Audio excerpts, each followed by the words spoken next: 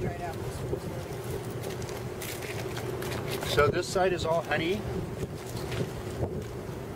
You can push your finger in there and taste it. So dip your finger in. Really? Break the wax. Yeah, break it. Push hard. They're not gonna They'll- bite me, will they? No, they'll fix it. They'll fix Really? it. Kidding. That's a baby bee right there. She Oh, probably hatched shit. out this morning. See how furry she looks and her eyes are real small? Yeah. How long does a bee live for? Six weeks. She physically wears herself out. She lives a little longer in the wintertime. She doesn't work as hard. You can touch them and they move. Because the stinger's on their belly, so if you just gently touch them, they'll get out of the way. Anybody else want a piece of wax?